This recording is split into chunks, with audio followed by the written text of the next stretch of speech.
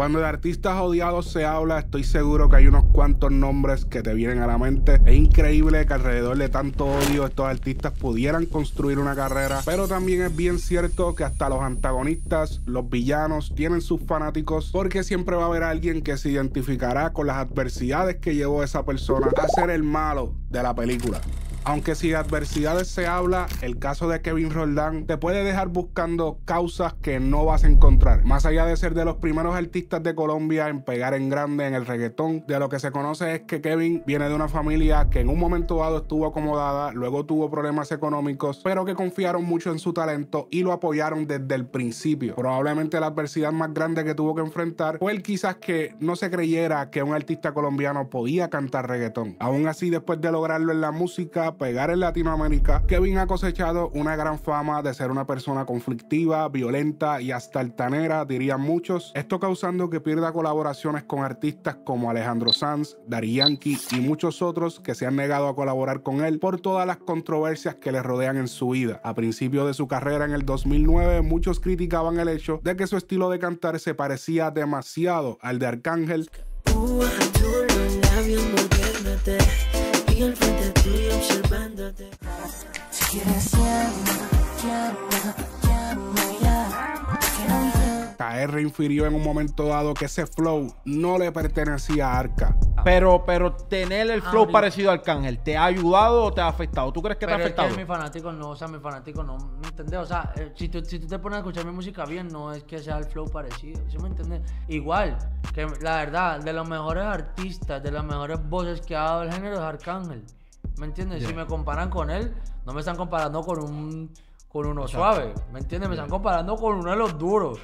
Lo que pasa es que, o sea, es la influencia, ¿sí me entiendes? O sea, no es, o sea, la gente nos ha comparado mucho, ha hablado mucho. Pero es que suenan, suenan. Claro, suena, pero, pero es que, o sea, pero es que no, no quiere decir que como que como que Arcángel sea el dueño del, ¿sí me entiendes? o sea, es, una, es como una ¿qué te digo? O sea, como la, la, las raíces de ese flow por el que nos movemos nosotros.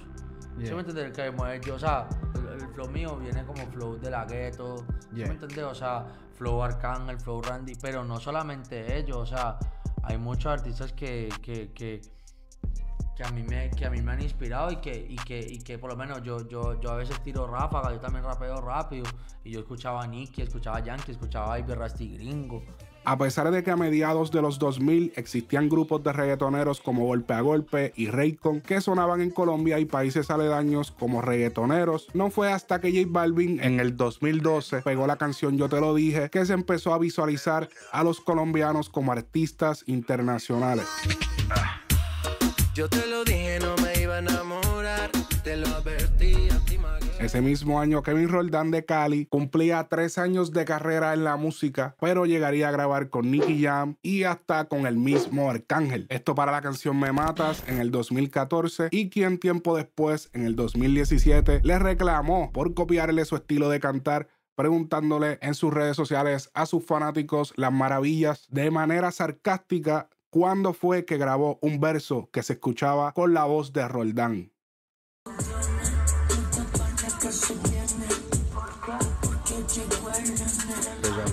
Por mi fanático.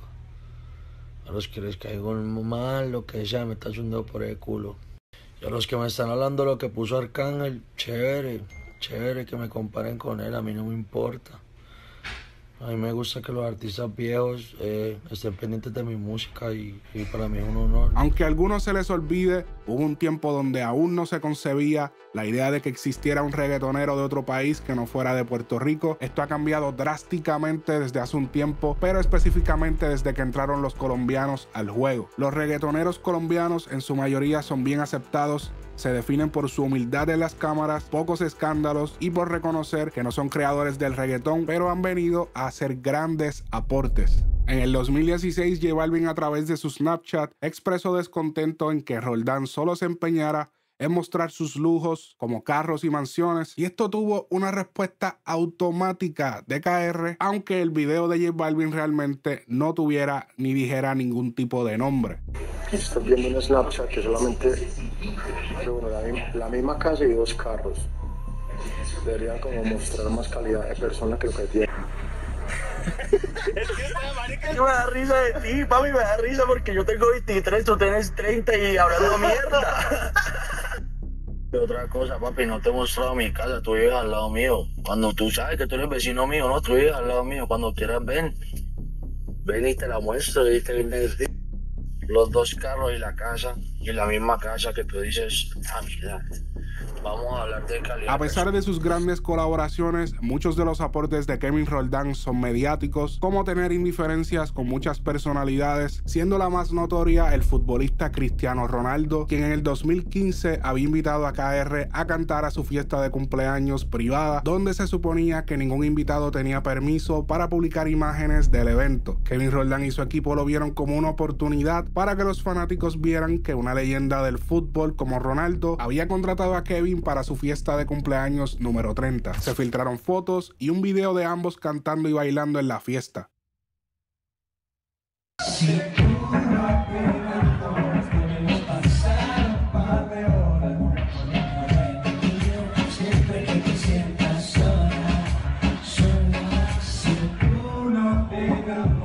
Lo que no imaginaba Kevin y su equipo era que esto se iba a convertir en una de las controversias más grandes del fútbol en ese año. La fiesta coincidía con una derrota asquerosa de su equipo Real Madrid 4 a 0 en contra del equipo Atlético ese 7 de febrero del 2015 el mismo día de la fiesta de Ronaldo. Los fanáticos y los medios tomaron de mala manera que Ronaldo estuviese fiestando la misma noche que acababa de perder de tan mala manera contra los Atléticos. Ronaldo gastó más de 400 mil euros en la famosa fiesta y los medios no desaprovecharon cualquier oportunidad en sacar de contexto cualquier gesto suyo en las grabaciones del juego horas antes. No salió con buen cuerpo del Calderón, pero Cristiano estaba pendiente de la hora porque tenía su fiesta de cumpleaños. 150 invitados, sus compañeros de equipo y muchos más. La situación empeoró cuando Gerard Piqué se las dio de gracioso y mientras celebraba la victoria de su equipo Barcelona, agradeció a Kevin Roldán porque gracias a él empezó la supuesta maldición que hizo que Ronaldo y su equipo Real Madrid, quienes eran los favoritos a ganar, pero perdieran ese año. Gracias al staff técnico y a Kevin Roldán, contigo empezó todo. Vamos a pensar lo que quiera. En la celebración del Barça Gerard Piqué cuando dijo con Kevin Roldán, no sé si es una pregunta interesante, pero yo te la tengo que hacer. No sé si ¿Sabes por qué que no hablo? ¿Sabes por qué que no hablo más veces? ¿Sabes por qué? No, no sé, dímelo. Sabes, tú eres inteligente. Seguro eres. Para hacer este trabajo tienes que ser inteligente. ¿Por qué no hablo más veces? Porque las preguntas no son buenas.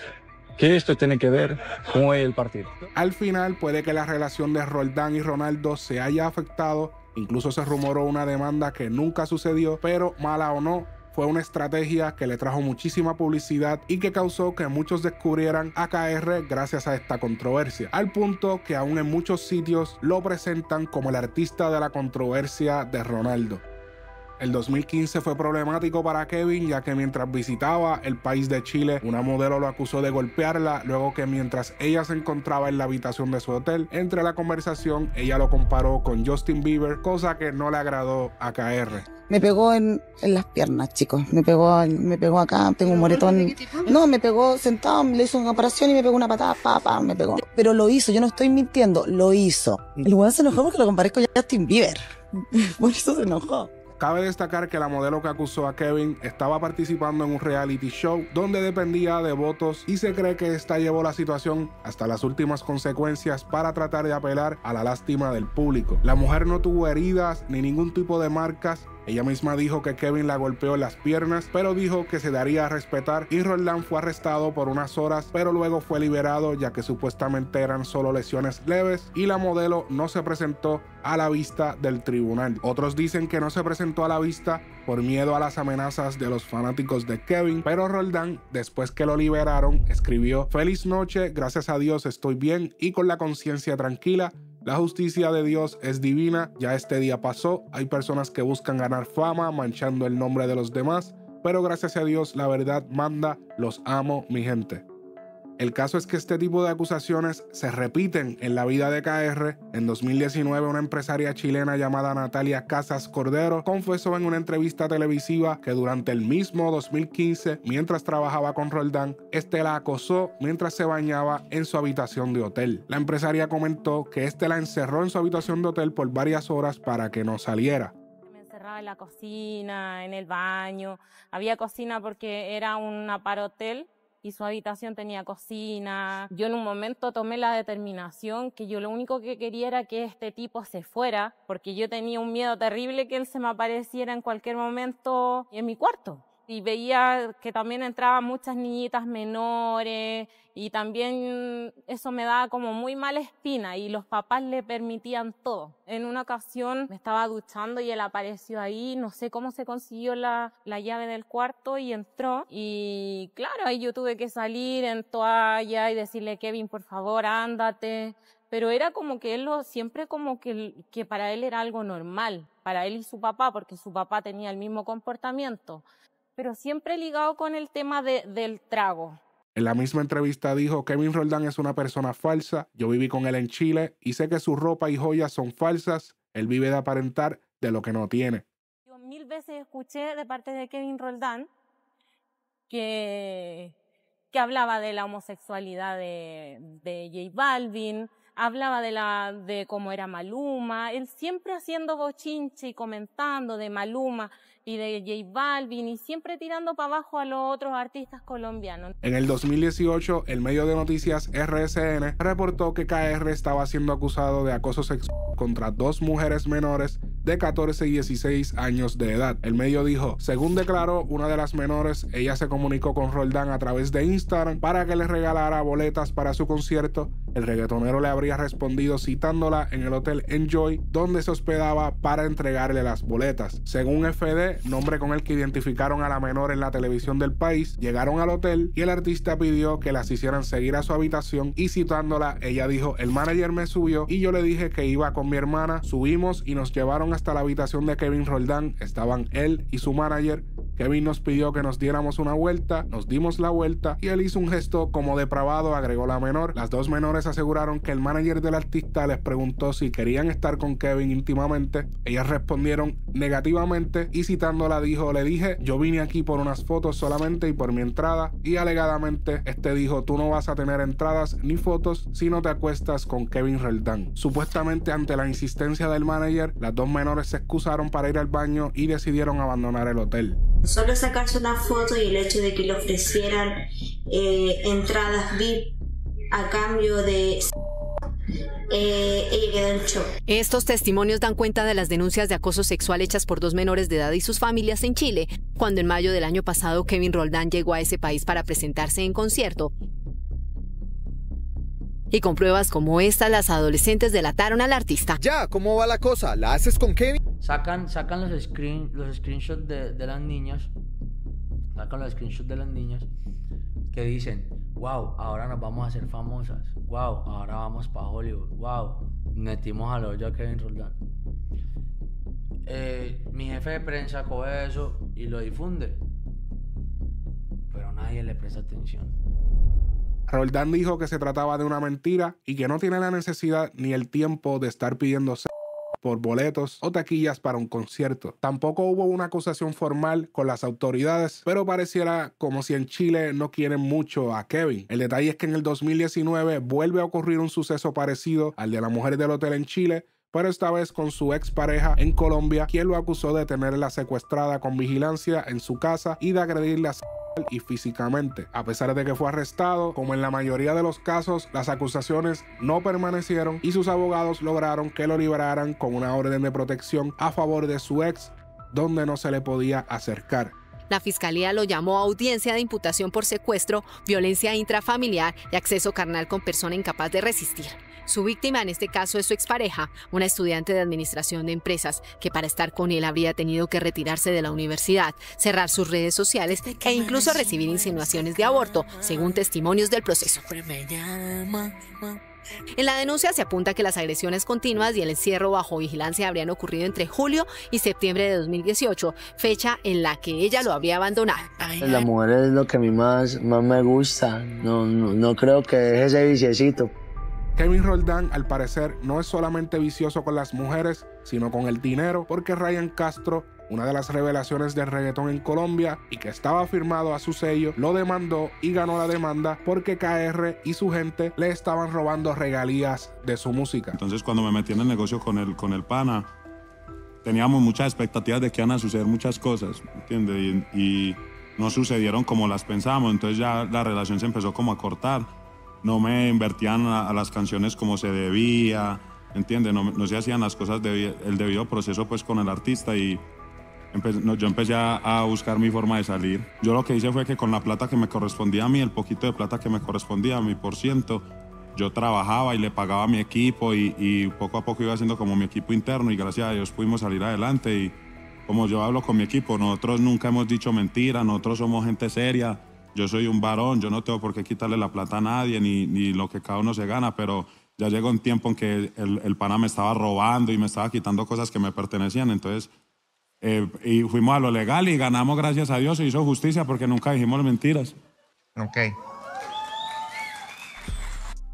Mientras Ryan Castro, quien ha tenido una fructífera carrera en Colombia, estaba en el sello King Records de Roldán, tuvo problemas con otros artistas por los mandatos que exigía el jefe. Como por ejemplo con Bless, otro artista de Colombia, a quien KR en el 2021 bajó del remix de la canción Lejanía, siendo la original una canción de Bless y Ryan. Bless supuestamente quería montar artistas internacionales como Mike Towers y Jay Wheeler para que la canción saliera de Colombia y de los países aledaños, pero que Kevin Roldán, viendo la oportunidad de la canción, aprovechó para montar a Maki del dúo Yagi Maki, quien era su amigo, y a todos los artistas de su compañía. Nosotros les dimos el máster a ustedes del principio, porque no nos dejan trabajar el remix a nosotros y todo el mundo ganamos. Que chimba montar a Jay Wheeler, a Mike Towers. Le dice a Velas, hablen con ellos. Y si se logra, yo ahí mismo alzo el teléfono y llamo en ese momento, eh, sin tener nada malo contra Maki, ni lo respeto, lo respeto y, me soy yo los temas de él. Y cuando era más pelado, bailaba todo el día la música de él. Evela le dice: Hey, em, no queremos a Maki en el remix por esto y esto y esto. Em, nos gustaría sumar a otras personas. Y la persona contesta: La persona contesta, Papi, ¿cómo así que sumar más gente si nosotros tenemos la lana? Nosotros tenemos los chavos, a quién hay que llamar, con quién hay que hablar. Es que nosotros tenemos la plata para hacer remix, nosotros tenemos el taco para organizar todo, mejor dicho. O, si usted no es el jefe, póngame al jefe, que es que yo tengo la plata, yo tengo las cosas, yo tengo la lana, yo tengo las... Pues una persona que literal en, en, esto no se, no se sabía, no se sabía si estaba hablando de pistolas o si estaba hablando de la calle o si de verdad estaba hablando de negocios. Las velas tenía le dijo, está bien, eh, perro, no vamos en el remix si va, estas si va esta persona, porque es que vas a sumar a, todo tu, a toda tu empresa. O sea, firmaste uno y ya tenés sumado a, a Ryan y te vas a sumar vos.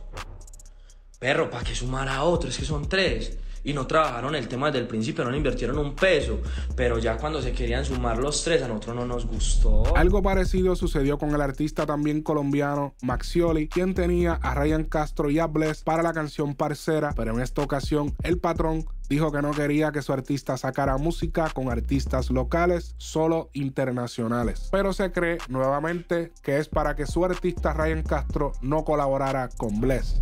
Yo recibí una llamada del manager de, de Ryan y el manager de Ryan me dice que Ryan no estaba para un momento para lanzar música con artistas locales. Y yo como que, ¿cómo así? Si yo acabo de ver un lanzamiento local.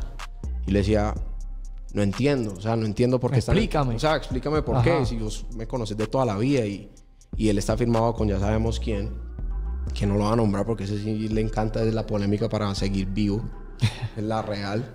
con Kevin. Él era pana mío, ese man era pana mío. Y yo antes esperando que él fuera consciente de lo fino que yo fui con él, en vez tomó la decisión incorrecta. Como que, para mí, o sea, mi opinión, le mandó a decir que no. Ryan no puede ir en la canción. Y yo como que... O sea, ¿sí me en el contexto como que Ryan sí estaba puesto, pero después su equipo de trabajo dijo, no, es con este man y con este man. Exacto, no el problema no era Ryan, porque Ryan es mi hermano, Ryan es mi amigo. Y yo sé que él se montó de corazón y rompió. Si no, era, no, si no se hubiera montado de esa manera a romper tanto el tema, el tema quedó muy duro. Y de verdad le deseo lo mejor a él y a su equipo. Y, también al pana que ya estamos hablando, que buena no entiendo por qué, hace esas cosas. ¿Sí es Como que no hay sentido me decían que es que la junta directiva tomó la decisión y yo como que, ¿cuál junta directiva? o sea, niño, esta no es mi primera canción que lanzo, ¿sí me entiendes? Como que... En el 2020, mientras estábamos en medio de una pandemia y no sabíamos qué iba a pasar con el mundo, fuimos testigos de otro lío de Kevin Roldán, quien no descansaba ni por el COVID, aunque esta vez el problema lo instigó Lenny Tavares, luego que Jay Kiles publicara una foto con Roldán diciéndole que iban a romper en un concierto en Guatemala. Lenny escribió un comentario diciendo ayúdalo. A lo que Roldán furiosamente respondió etiquetándolo Lenny Tavares, como cuando te di a conocer con caviar, no muerdas la mano que te dio de comer, vos sos un viejo papi, más de 30 años tenés y solo pegas en los remix. Cuando pegues un tema mundial solo, como PPP, ahí sí me hablas, del resto deja tu envidia. Lenny Tavares responde diciendo, tú saliste en caviar porque yo quería Arcángel y no pudimos sacar el remix con él y cometí el error de buscar una buena copia. Tengo 30 y me veo más cabrón que tú, PPP no la escribiste tú para estar roncando y ninguna canción que te ha funcionado. Tú tienes suerte que Noah Assad, quien es el CEO de Rimas, cree que tú puedes ser el Justin Bieber latino. Yo le dije que iba a perder los chavos. En esa línea de Justin Bieber, claramente Lenny está referenciando el altercado con la modelo en Chile, cuando esta le dijo que se parecía a Justin Bieber. Lenny siguió diciendo, lo único PPP que tú tienes es puesto para pegarle a las mujeres. Kevin Roldán responde riéndose, diciendo, ¿qué tal estos artísticas de pacotilla como le tiran piedras a la luna? Lenny responde, piedras a la cara llena de boquetes que tienes que maquillarte todos los días para salir de la casa para vender la mentira que eres. Kevin Roldán respondió con una foto en sus historias junto a Lenny, burlándose de su estatura. Si eres fanático mío, si eres artista, si eres lo que sea, y eres una porquería de persona, espero poder dejártelo saber en algún momento. No vas a cuadrar con mi corillo, no vas a cuadrar conmigo nunca, no vas a nada, cero, cero, cero, cero. No se desenfoquen, no se desenfoquen. Estamos bien activos. Estamos PPP. ¿Qué sucedió? ¿Qué sucedió con Kevin Rodan? ¿Quién? Con Kevin Rodan. No sabemos quién es hasta el momento. Ay, Dios mío. Señores, pues él dice que, bueno, ustedes tuvieron una colaboración en el pasado y él dice que, bueno, como que él, él te dio a conocer a ti. ¿Qué tú tienes que responderle a ese desconocido? Esta es la segunda vez en mi etapa de mi vida que estamos en los premios Juventud. No, nunca había nadie con ese nombre ser parte de alguno de esos dos momentos de mi vida. no, no entiendo de lo que me estás hablando. La desentendedera. Tal y como pudieron escuchar, el problema viene desde la colaboración que tuvieron Roldán y Lenny, donde también participó Darel en el 2017, llamada Caviar Remix. En aquel tiempo, Lenny y Roldán tuvieron indiferencias cuando la canción iba a salir. Hola, buenas noches, un saludo para todos mis fanáticos eh, que me han escrito todos estos días que quieren que salga el remix de Caviar. El remix va a salir y lo hago por ustedes, mi gente. Lo hago por ustedes porque ya la canción estaba lista. Ya la canción estaba lista, ya el video estaba listo. Eh, Lenny también me llamó y arreglamos el malentendido con él, porque yo de verdad quería que el tema saliera. Yo quería que saliera el tema el viernes, porque el viernes era la fecha que nosotros habíamos pautado para salir el tema. Y, y bueno, porque le a todos mis fanáticos que salía el viernes. Pero bueno, mi gente, yo creo que esto lo hacemos más que todo por ustedes y la canción va a salir mañana y yo sé que me enojé y que, de pronto hay cosas y todo, pero, pero entiéndame que yo soy un ser humano y común y corriente, o sea, que, también le da rabia a las cosas, ¿sí me entiendes? Pero bueno. En el 2021, Kevin Roldán tiene otra indiferencia pública, pero esta vez con Jambi el Favo, donde todo empezó con unas historias donde Roldán decía: Tu novio es una loca como Jambi el Favo, el favorito de las babies soy yo, el Favo de qué, Jambi es una p que anda con fierros de mentiras, el cantante más cagado de Puerto Rico se llama Jambi, cae a Cali o a Medallo, sapo y sos una loca, sos el bless de PR. La esposa de Jambi y la del barbero brincaron en la suite de KR. La primera vez que te montaste en un jet fue en el mío, sapo hijo de p. Tu mujer Manega, ¿quieres que muestre el video tuyo arrodillado llorando? Jambi el Favo responde diciendo, hablas de sapo y llamaron a la policía ese día en esa finca, creo que quieres meterme preso o hacer una demanda. Kevin Roldán el caleño que se mudó de Cali porque allá no lo quieren y por sapo va a tener que mudarse de medallo. Jambi luego responde con este video live. Y ni en Cali te quieren, chulo. Que yo lo que tengo lo tengo por mí, no por mi país. Óyeme, y el país le daba de todo y él era tan infeliz, tan igual a gran puta. Le decía a igual a gran puta, país, imagínate. Tú a verle se cagan a una mierda de personas. Solito se cagan la ropa. Tiempo después, Jambi explicó de manera precisa qué fue lo que sucedió entre él y Roldán en una entrevista. Ah, papi, él me quiso conocer a mí. Empezando por ahí, el, tiro le tiró un productor que trabajaba conmigo. Mira, y él le dijo, estoy con Jambi, pónmelo, pan. Mira, cuando quieras, tienes que venir para mi casa, tengo una finca aquí, pa, quiero conocerte, quiero trabajar para de cosas. Vamos para encima. Me habló del tema con Raycon. Entonces yo le dije, vamos para encima. Me dijo, el de Raycon es más primordial que Raycon quiere hacerle el video ahora. Y el chamaco me dice, papi, quiero trabajar este tema contigo. Yo vamos para encima. Cuando conozco a Kevin, me montó en el de la suite. Ok. Él me había dicho para montarme en un tema de él, no va a mencionar el tema porque después lo, después lo sacó, ¿me entiendes? Pero me dice, mira, este es el tema que quiero que tire, que es para mí. Yo, yo, escribí, yo escribí la suite, grabé. Escribí, escribí para escuchar del escribí, papá, papá. Era como a las 4 de la mañana y yo dije, papi, yo vengo mañana. Le dije al productor que estaba ahí. Digo, papi, yo vengo mañana porque mira, estamos amanecidos. De hacerte la historia cortarla que cuando llega otro día, Kevin estaba montando en el tema. O sea, mi verso, o sea, como quien dice, me bajó del tema. Y yo, pero cabrón, si viene ready. Ah, no, vamos a hacer otra cosa. Cabrón, pues si tengo el verso ready. Tú no estás jugando con el tiempo de un pendejo, ¿qué, ¿Qué es lo que te pasa? No, que se puso como raro porque me puse a esperar al frente de la puerta como un, rato y yo me sentía como que este cabrón me hace venir para acá y. No sé cuál es la bipolaridad, ¿me entiendes? Porque cabrón, el beatbox que me está diciendo que venga para acá, que le llegue, que esto, que en Cartagena, eso fue una, la discusión fue en el hotel, después en, ah, la, piscina, y en la piscina. Él estaba tratando de llamarme que, que él tiene un tema para yo montar por el día que terminamos el video y yo yo no quería subir por el comportamiento raro de los días en su casa, ¿tú me entiendes? Lo que te estoy diciendo. Papi, a mí no me gusta. Ya lo que fue, fue. Yo no voy a hacer más música con este pana.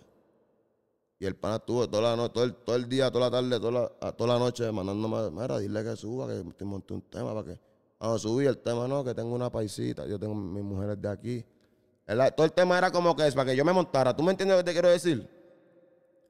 Y pasaron unas cosas que, papi, yo, para eso tú, macho, cabrón, tú eres un payaso, tú eres un niño, cabrón, le digo. Demandas, arrestos, acusaciones sexuales, golpizas. Los escándalos de Roldán superan la cantidad de éxitos en su catálogo. Preparando este documental, sentía que estaba rehaciendo el que hice de P. Diddy, pero a diferencia de Puffy, a pesar que muchos colegas no quieran grabar con él, es sorprendente que Roldán aún tenga el cariño de muchos fanáticos y fanáticas, quienes tal vez mantienen la ilusión de que el mundo no entiende a su artista favorito y que quieren atentar contra él por envidia. O tal vez es más interesante seguir al villano que se sale con la suya y que hace lo que le da la gana sin consecuencias, cosas que el mismo fanático por miedo ni siquiera se atrevería a hacer.